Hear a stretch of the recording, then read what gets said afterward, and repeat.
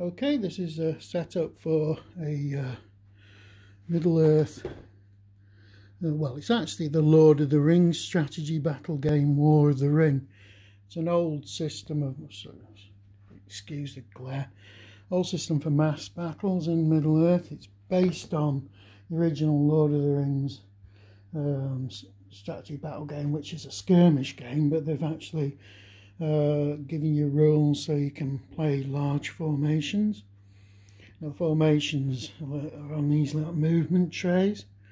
Now, getting older plastic movement trays now, uh, unless somebody's producing them, uh, is, is pointless. You'll have to use um, like wooden ones, which are still available. Uh, you get them in like packs like this. These are and you just assemble them with wood glue and paint them. Um, now, this battle here is Ugluk's last stand. That's been played on an 8 by 4 board. Um, it took place um, at the start of the two towers. It's, uh, it's on the southern borders of Fangorn. You have Ugluk's units here um, and uh, Grishnakh plus his troops and um, various different different types of troops. There's quite a lot of bowmen up front. There's uh, main phalanxes. Well, not yeah, well, phalanx is probably not the right word. But main units of um, Isengard Uruk-hai.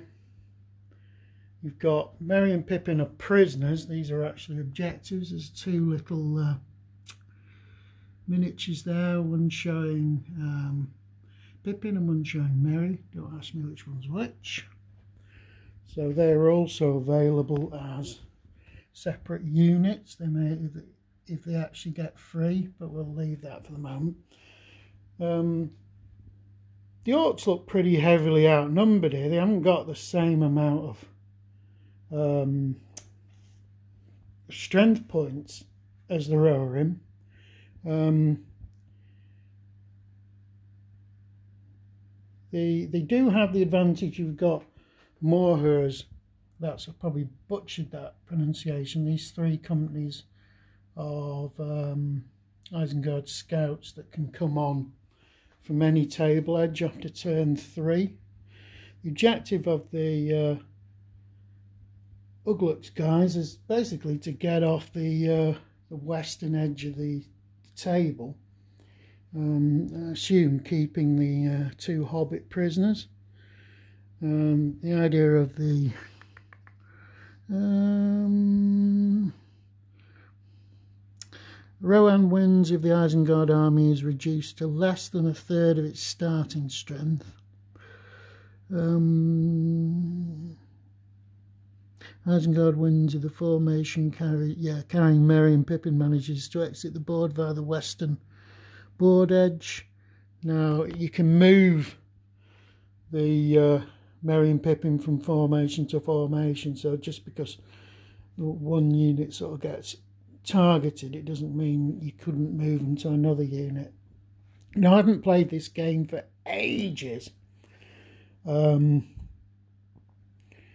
so the initial setup here is probably not ideal. It's probably better to, I'm allowed to move the Orc army to the edge of the eastern half of the board. So they want to get, if they're going to go off the western edge, they want to get and head to Isengard. They're going to have to be as advanced as they can to do that. So I'll probably move this lot up at one point.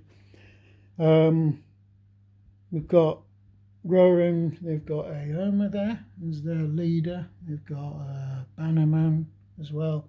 And each one of these um, companies with the sort of half painted textured trays contain the leaders of the Rohirrim. So there's actually three uh, leaders. Okay. One's actually with a bannerman over there. Units of Rohan they effectively have bows, spears, um, and swords. You've got um, a couple of units. without leaders, and you've got some uh, what are knights of Rohan, some lancers over there. The orcs have got a few banners, a banner and a leader in each um, Uruk-hai formation. Grishnakh's obviously got a leader there. Ugluk's got a leader on there who's, who's the commander. Uh, there's no commanders in the archery forces. They're all Uruk-hai scouts armed with bows.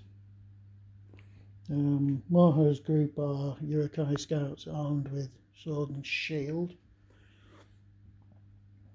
So I think the next thing I'm going to have to do is sit down and read this. This is um, there's a lot of lot of groundwork for me to do this. Even getting this army set up, you know, this isn't the limit of my Rohan force. I've probably got another, um, maybe another 20 Rohan cavalry units. And as for Isengard, I've got hundreds of Isengard troops, hundreds of Phalanx troops, which aren't, um, yeah, a lot, a lot of Isengard troops. Um, but it's good seeing it just set up for for, for once. So we got to look at the battlefield. We've got the uh, Rohan forces who are blocking the way to Isengard, and there we got Ugluk's force, almost like a Zulu impi formed up there.